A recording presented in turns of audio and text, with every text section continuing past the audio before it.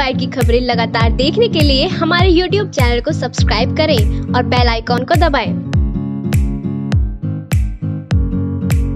इस खबर के प्रायोजक है जैना ज्वेलर्स आबुलेन मेरठ। मेरठ में धोखाधड़ी का एक मामला सामने आया है, जिसमें मेरठ व्यापार मंडल ने आवाज़ उठाई है। आपको बता दें कि अनिल खटीक, निवासी मानसरोवर मेरठ ने अपने पड़ोसी प्रदीप गुप्ता व संदीप गुप्ता से उनका मकान सत्तर हज़ार रूपए में खरीदा।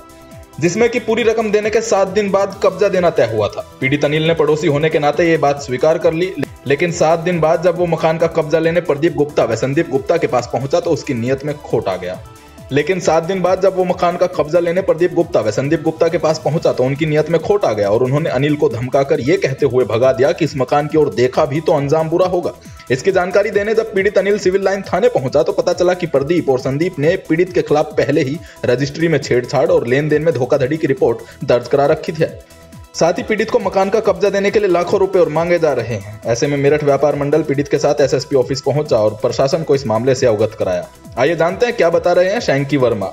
मेरठ व्यापार मंडल से? आज क्या है कि शर्मा क्या नाम है, मानसरोवर कॉलोनी में एक सत्तर लाख रुपए का मकान पार्टी ने इन्हें इन्होंने खरीदा उस पार्टी से और सत्तर लाख में इन्होंने छप्पन लाख का लोन कराया, जिसमें उन्हें सारे सत्तर के सत्तर लाख पार्टी पेड कर चुकी है और इन्हें कब्जा नहीं दे रही।